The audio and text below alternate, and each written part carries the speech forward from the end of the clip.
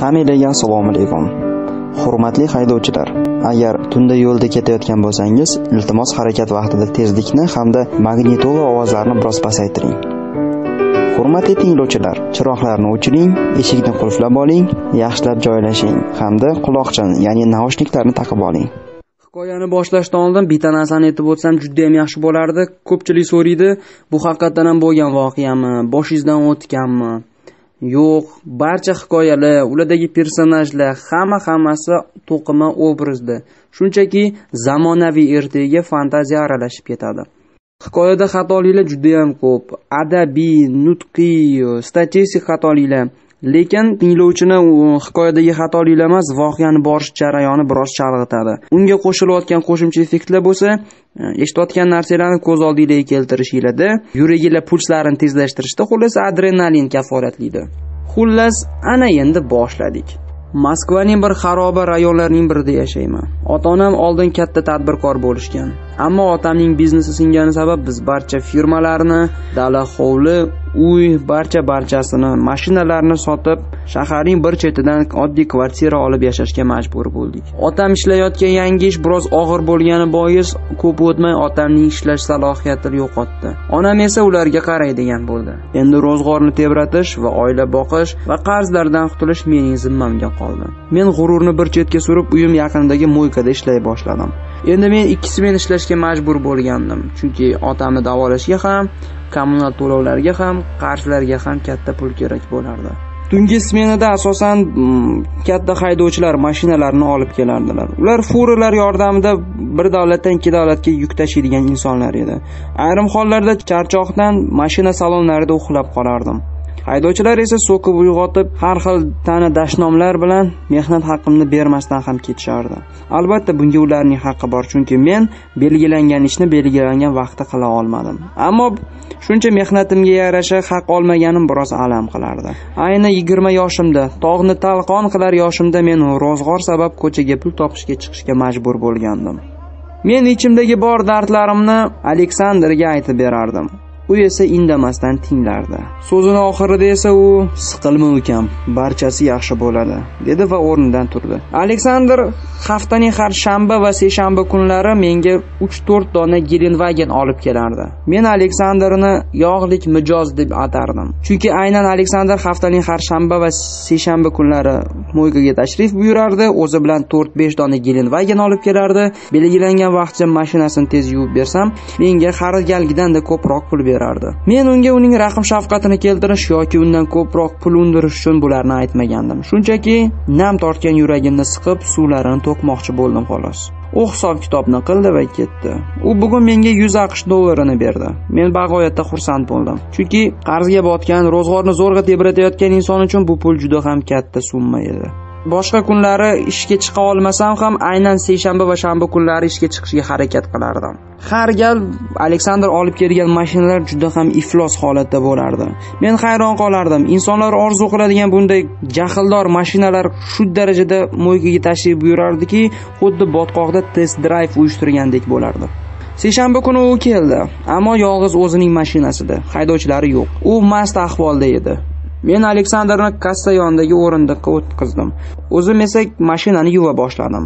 Salonni yuvayotganimda nogohon bardachok ochilib ketdi. Biroz xijolat tortib uni yopmoqchi edim ichiga nazar tashladim va hayratimni yashira olmadim. Bardachokda adashmasam 3 dona qadoqlangan 100 dollarlik amerika valyutasi bo'lardi. Har bitta qadoq 10 ming dollarni tashkil qilsa bu yerda kamida 30 ming dollar pul va yonida Makarov pistoleti bor edi. Meni biroz vahima bosdi, ammo hayron ham bo'ldim. Qanday qilib shunday katta bir summani mashina bardachokida saqlash, ya'ni mast holatda rulda o'tirish mumkin dedim. Men uning mashinasini yuvib bo'lib oldiga bormoqchi edim, uning mobil telefoni jiringladi. U mensimay turib mobil telefonni qo'liga oldi va ranglari oqarib ketdi. Allo. Ha, ha albatta. Hozirroq yetib boraman. Xo'p bo'ladi. U bir balolarni aytab g'o'ng'illardi endi meni o'ldirishadi yo'q qilishadi tamomman deb o'zini o'zi koyirdi. Tinchlikmi? Nima bo'ldi? U bu yordam kerakmi? Yo'q hech qanday yordam kerak emas shahar tashqarisiga chiqishim lozim. Siz hozir mast ahvoldasiz menimcha yetib bora olmaysiz. Keling men sizni olib borib qo'yaman. Mashina haydashni bilasanmi? Ha biroz rul va pedal farqiga boraman. Men rulga o'tirdim va u aytgan joyga haydadim. Biz shahardan 30 kilometr uzoqlashdik va qaysidir bir davlat chegarasiga yaqinlashib keldik. Qayergadir yetib kelganimizda to'g'rimizdan 3 dona mashinaning faralari yondi. Men tushunib yetdim va biroz tezlikni to'xtatdim.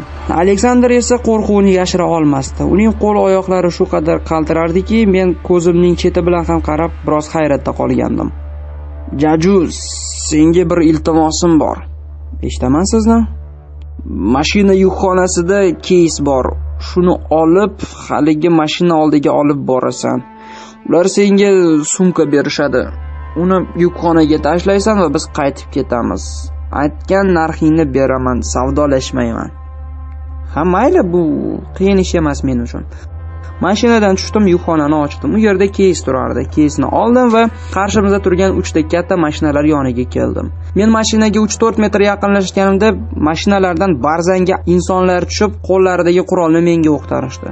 meni qo'rquv bosdi. Men dahshatga tushdim. Men nimaga aralashib qolganimni darrov tushunib yetdim.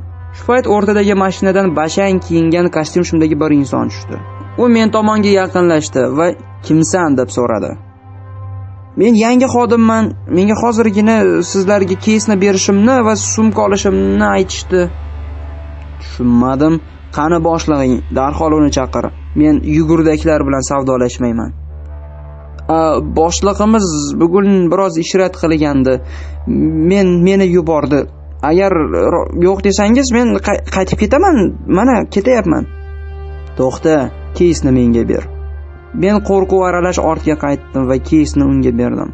Birgina maqsadi nima qilib bo'lsa-da bulardan biroz uzoqlashib jonajon mo'ykamga borib tirikchiligimni qilish edi. U biroz menga qarab turdi. Qani menga aytchi nima uchun ular seni ishga olishdi? Men biroz o'ylanib qoldim va unga meni sizlarning boshlig'ingiz yubordi. Tushunmadim nima? Biz hamkorlik qilayotgan butoda dorilarga un aralashtirib beryapti. Shuning uchun buni nazorat qilish uchun men bularning orasiga kirdim. U biroz ishonqiramay qoldi.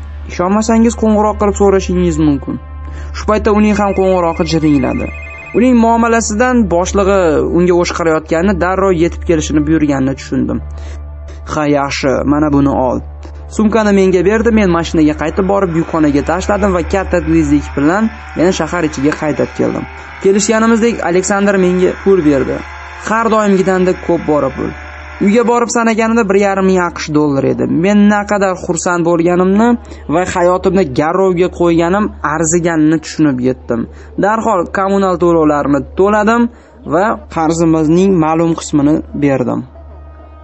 Keyingi hafta yana tungi smenada ishlayapman. Atigi bir dona fura. Shu payt mo'yka oldiga mashinalar kelib to'xtaganini eshiklar ketma ket yopilganini eshitib qoldim. Ha tushunarli ular meni qidirib kelishibdi. Aleksandrning yonida yana bir qancha insonlar turardi. Jaju darhol mashinaga. Ular boshimga qop kiydirishdi va qayergadir olib kelishdi.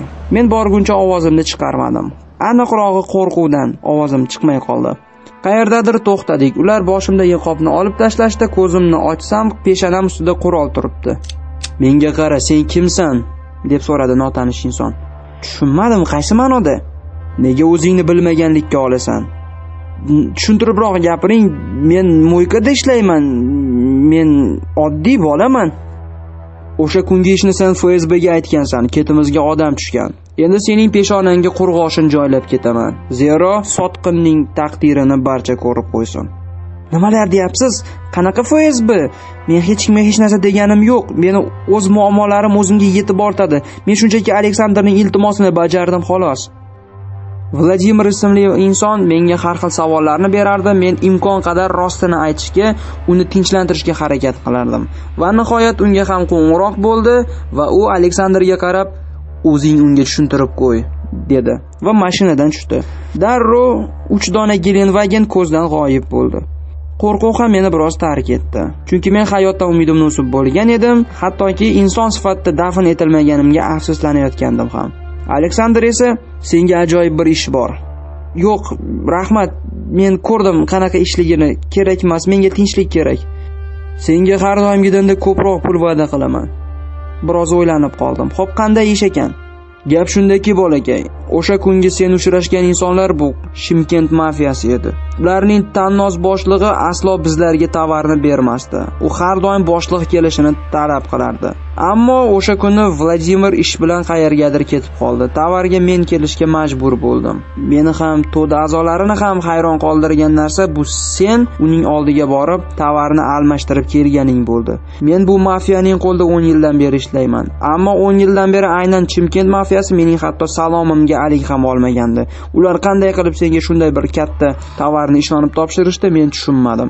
Ammo taklif qilayotgan ishim ham shu bilan bog'liq. Endi seni har doim shimkent mafiyasi bilan bog'liq ishlarda jonbozlik ko'rsatasan. Mo'ykada ishlashingga esa hojat yo'q.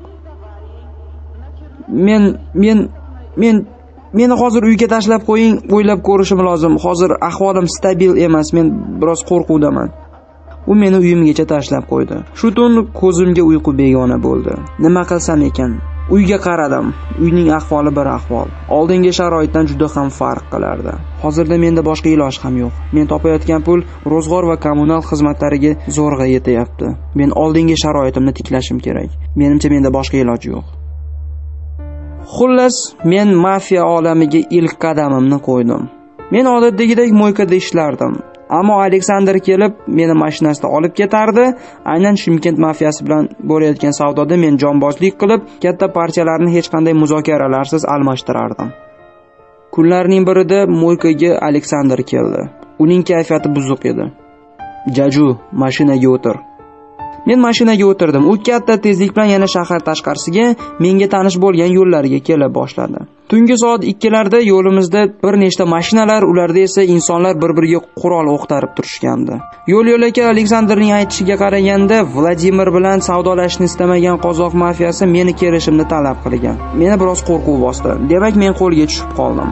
Ana endi tamomsan jaju shu payt soqchilardan biri mashina eshiklarini ochdi. Men sekin u tomonga yaqinlashdim. Ichkarida shimkent mafiyasining atamani sadr o'tirardi. Tinchlikmi meni yo'qlab qolibsiz? Ha tinchlik shunchaki o'zim. Nega bugun ishga chiqmading? Vladimir kelishimni istamadi. Men unga qarshilik qilmadim sezib qolmasligi uchun. Qani menga aytchi sen qanday qilib ularning to'dasiga qo'shilib qolding? Ana endi menga ajoyib bir javob kerak edi. Men vaziyatni to'g'ri baholab chiqib ketishim kerak. Aks holda qo'lga tushaman va shu yerning o'zida shu paytda men toza qozoq tilida qanday qilib to'daga kirib qolganimni aytib berdim. Qandaydir bir holat bo'lgan paytda uyimga shimkentdan inson kelib ma'lumotlarni fleshkaga joylab olib ketayotganini aytdim. U biroz o'ylanib qoldi. Shu payt baxtimga uning yana telefoni jiringlab qoldi. Darhol partiyalarni almashtirdik va o'z uyimizga qaytib ketdik. Bugungi kun men uchun omadli bo'ldi. Yigit kishining hayotida yulduzlik soati uch bora keladi deyishgandi. Mening birinchi soatim mast holda aleksandrning mo'ykaga kelgani bo'lsa ikkinchi yulduzlik soatim hozirning o'zida suvdan quruq chiqib ketganim bo'ldi. Endilikda men vladimirdan umuman qo'rqmay ham qo'ydim. Chunki mening ishonchim komil edi. Har qanday partiya almashinuvida aynan shimkent mafiyasi mening kelishimni talab qilardi. Kunlarning birida vladimir oldimga keldi. Mashinaga chiq dedi. U qandaydir bir joyga olib bordi va katta bir qasr oldida to'xtatdi. Qayerga keldik? Bu baronning uyi. U seni ko'rmoqchi. Men ichkariga baronning shaxsiy xonasiga kirdim. Marhamat kela qol ha meni chaqirtirgan ekansiz? Sen haqingda eshitdim. Menga aytchi nima uchun sen hamkorlarimizni o'zingga og'dirib olding? Kechirasiz men hech narsa qilganim yo'q. Nima uchun unda shimkent mafiyasi to'g'ridan to'g'ri vladimirni rad etdi? Chunki juda ham qo'pol gapiradi. Ayrim hollarda qurolli to'qnashuv bo'lishiga ham biroz qoldi. Ularning men shunchaki ularning tilini tushunaman. Shunga bo'lsa kerak agar yo'q desangiz men men ketaman. Menga qara yigitcha. Ko'rinishingdan hali yosh ko'rinasan. Ammo bir narsani eslab qol. Agar u bu kim ketimizga tushgan bo'lsa shu zahotiyoq sen ota onang yer yuzidan yo'q bo'lasizlar. Sizlarni hech kim topa olmasligini o'zim kafolatlayman. Bugundan menga ishlaysan tushundingmi? Ha tushundim. Men men sodiq qulman. Qasam ichaman sodiq qul bo'lib qolishga. Tushunarli. Bor ishingni qilaver. Katta bir uydan qaltirayotgan oyoqlarim qanday qilib chiqdi men bilmayman ammo qo'rquvdan men o'zimni yo'qotib qo'ygandim. Baronning savlati shu qadar meni bosdiki meni hatto nimalar deyayotganimni o'zim bilmay ham qoldim. Shu tahdid men baronni ham uning uyini ham uning naqadar qudratga ega ekanligini ham tushunib oldim. Asta sekin boshqa hamkorlar bilan qilinadigan savdoda ham qatnasha boshladim. Ular bilan yaxshi chiqishib ularning sistemasini o'rgana boshladim. Mening endi maqsadim birdon edi. Bu mafiya olamida o'z hududimga ega bo'lish edi. Shu tariqa kunlar kunlar ketidan oylar o'ta boshladi. 2017 yilning aprel oyida moskvaning bir burchagida katta majlis uyushtirildi. Bu majlisga faqat mafiya boshliqlari va ularning yordamchisi keldi. Baron va uning yordamchisi vladimir majlisda barchaning xavfsizligini o'z bo'ynlariga olishdi. Majlis bo'layotgan bir uyning atrofi 300 metr radiusda qattiq qo'riqlandi. Hech kim kiritilmadi barcha hushyor bir biriga qarab turardi. Men esa ichkarida nima bo'layotganiga qiziqardim. Afsuski menda bu yerga kirishga huquq yo'q edi. Men aleksandrdan bu majlis nima uchun chaqiriladi o'zi deb so'radim. U esa bunday majlis har 6 oyda chaqiriladi. 6 oy mobaynida turli xil viloyatdagilar bir bola yig'ilib keyingi majlisgacha kim qanday partiyalarni amalga oshirishini kelishib olishadi.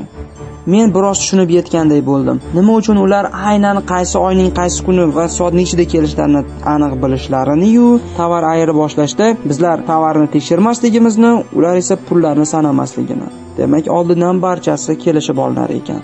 Men turli xil viloyatlardagi mafiya boshliqlarining mashinalariga keldim. Ajoyib va qimmatbaho mashinalarda selfi rasmga tusha boshladim. Men shu paytda mashina salonlariga kichik bir datchik o'rnatib qo'ydim. Xullas majlis tugadi ular o'z hududlariga qaytib ketishdi. Majlisdagi kelishuv baronning foydasiga hal bo'lgani vladimirning yuzidan sezilib turardi.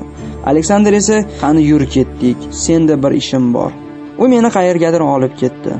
Adashmasam mehmonxona edi. Biz ikkinchi qavatga ko'tarildik va aleksandr mana bu qavatda faqat jononlar bor. Istaganingga kir bugun miriqib dam ol.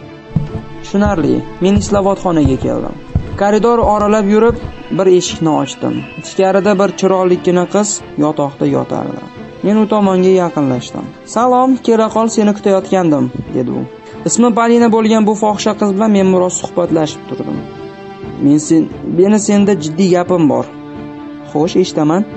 Men senga uylanmoqchiman dedim va so'nchagimdan uzukni oldim. U qahqaha otib kulib yubordi. Menga ya? Menga uylanmoqchimisan? Ha albatta senga yana kimga bo'lardi? Men uning qo'llariga uzukni taqib qo'ydim va tez yuvinib chiq. Senda gapim bor dedim. U esa kulib qo'ydi va vannaxonaga kirib ketdi. Men vaqtdan foydalandim va so'nchagimdan mitti kuzatuv kamerasini olib devorning burchagiga qistirib qo'ydim va xonadan chiqib ketdim. Oradan 3 kun o'tdi. Vladimirdan qiziqib so'radim. Vladimir menga aytchi qaysi kuni barcha mafiya a'zolari bir vaqtda safarga chiqishadi? Bugun tungi soat 1da. aynan bugun barcha bir biri bilan tovar ayil boshlaydigan vaqt. Hmm tushunarli. Yaxshi dedim. Men aynan ushbu javobni kutayotgandim. Tungi soat 1 ga kelganida men mashinalarga joylashtirgan kichik bombani masofadan turib boshqardim. Bir vaqtning o'zida 3 dona mafiya a'zolari yo'q qilindi.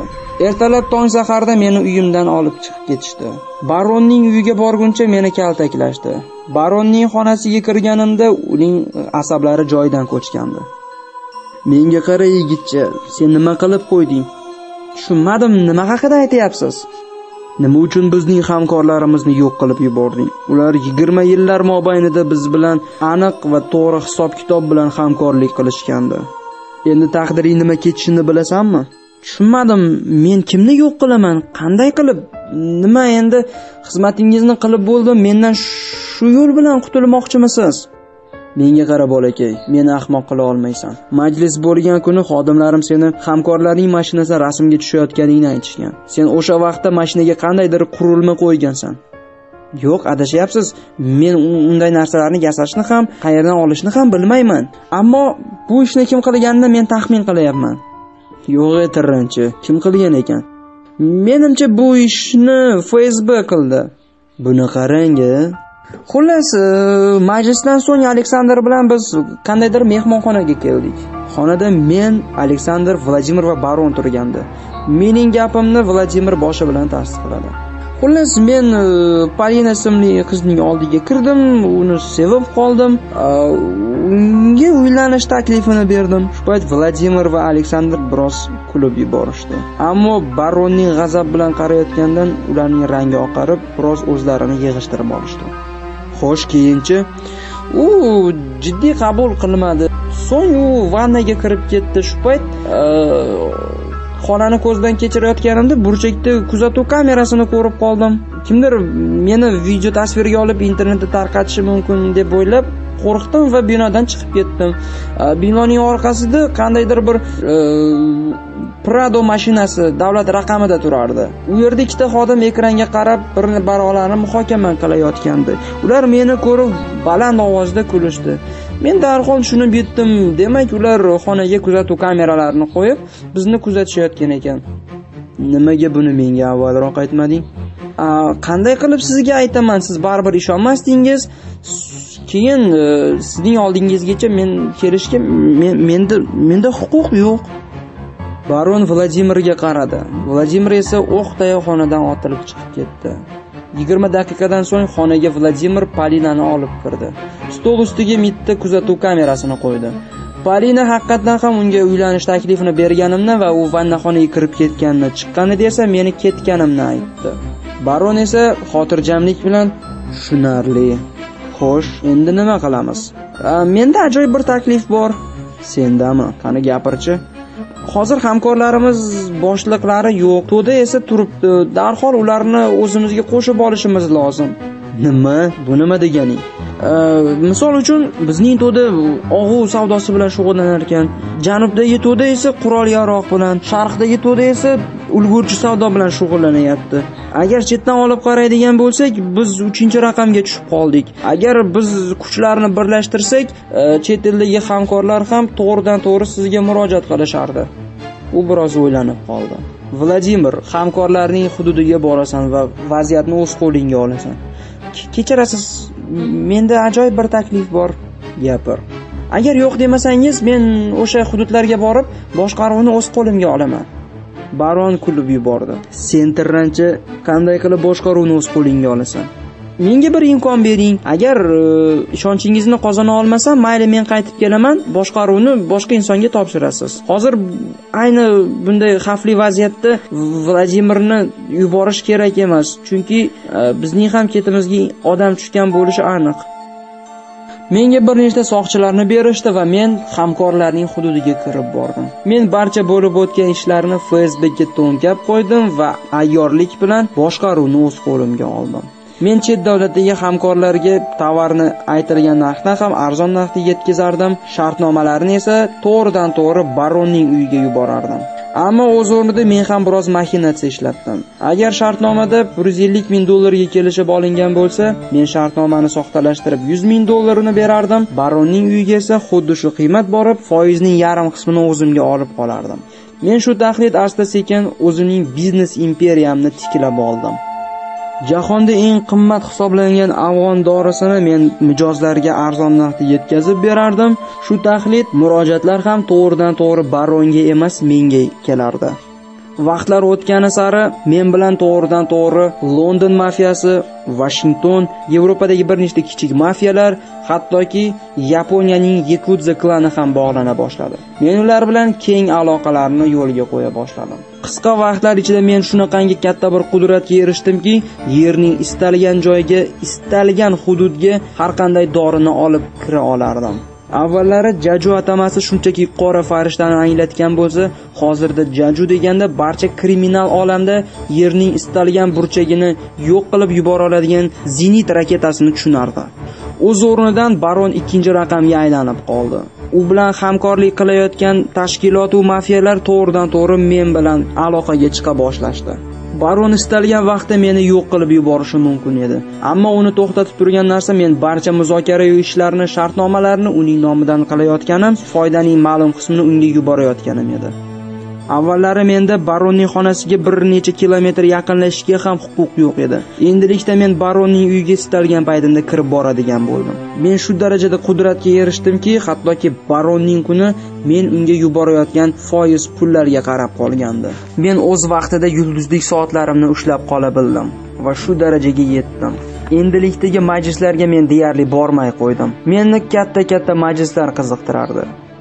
Kunlarning birida menga sabordan taklifnoma keldi bu qit'alararo baronlarning o'zaro kelishuv majlisi edi o'z o'zidan menga taklifnoma kelishi baronning baronlik lavozimi yo'qolib qolganini anglatardi men mamnuniyat bilan yaponiyaga keldim Yakudza klani bizni iliq kutib oldi.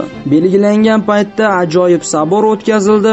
Men majlisda ham jonbozlik ko'rsatdim va asosiy savdo karvonlarini o'z hududim tomonga burib yubordim. Menga nasib qilmagan nuqtalarda esa mening hududim tranzit vazifasini ham bajardi.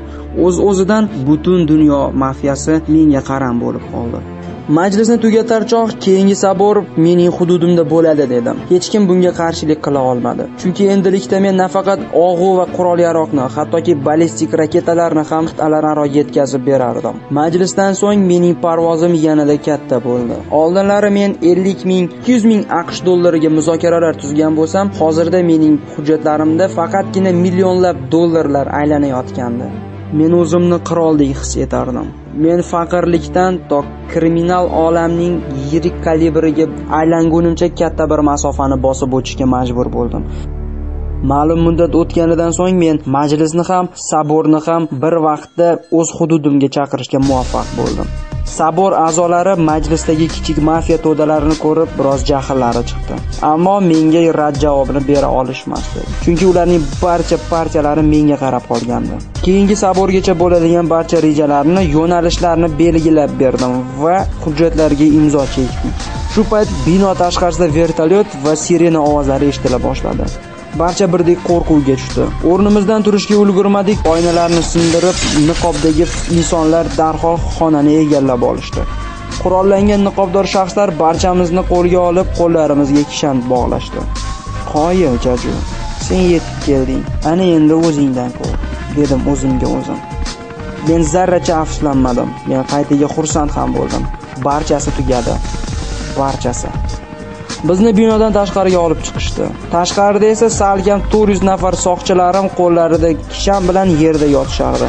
Men biroz hayron bo'ldim. Qanday qilib shunchalik qisqa vaqt ichida salkam 400 nafarga yaqin qurollangan soqchilarni yerga yotqizib qo'yish mumkin? Mashinalarning birida formada bir inson yurib keldi. Shu payt fsb xodimlari mening qo'limdagi kishanni olib tashlashdi. Men haligi insonga yaqinlashdim va uning ko'zlariga qaradim. U esa sokinlik bilan barakalla jaju. Sen uddalab bo'lmas missiyani bajarding. Ochig'ini aytadigan bo'lsam, bu ishni bajarishingga meni ko'zim yetmagandi. Sen har galgidek barchamizni lol qoldirding. Qora farishta yelkasidagi vazifani a'lo darajada bajardi, o'rtoq polkovnik. Shu payt baron tilga kirdi. Yaramas sotqin. Axir sen sodiq qulman deganding-ku qasam ichganding-ku nega bizni sotding? Nega seni o'sha vaqtning o'zida otib tashlamadim a sen haqsan men sodiq qulman men vatanimga xizmat qilaman. Men qasam ichganman men vatanimga xizmat qilish uchun qasam ichganman. Birin ketin insonlarni mashinaga tiqib olib keta boshlashdi. Kechirasiz o'rtoq polkovnik mana bu fleshkani oling. Nima bu? Bunda juda ham kerakli hujjatlar bor. Bunda majlis a'zolari ham, sabor a'zolari ham bir necha yillar mobaynida qayeri bilan qanchalik savdo qilganliklari barchasi yozib qo'yilgan. Barakalla. Agar ruxsat bersangiz, men uyimga qaytsam, ota-onamni sog'indim. Ha, albatta. Hozir seni olib borib qo'yishadi. Yelkamdan tog' ag'darilganday bo'ldi. Yengil nafas olardim. Biz qo'lga olgan mafiya shunaqangi bir katta chinorga aylangandiki, uni tag tugi bilan olib tashlashga menda salkam 3 yil vaqt ketdi. Va nihoyat men uyimga kirib keldim. Uyda otam va onam meni kulib qarshi olishdi. Salom, men keldim. Otam ko'zdagi quvonch yoshi bilan sen bilan faxrlanaman. Otamning qo'llarida xat turardi. Xatda esa Birlashgan Millatlar Tashkiloti rayosatidan rahmatnoma kelgandi. Bu butun dunyoni otamga rahmat aytayotganini anglatardi. Mendan-da baxtiyor inson yo'q.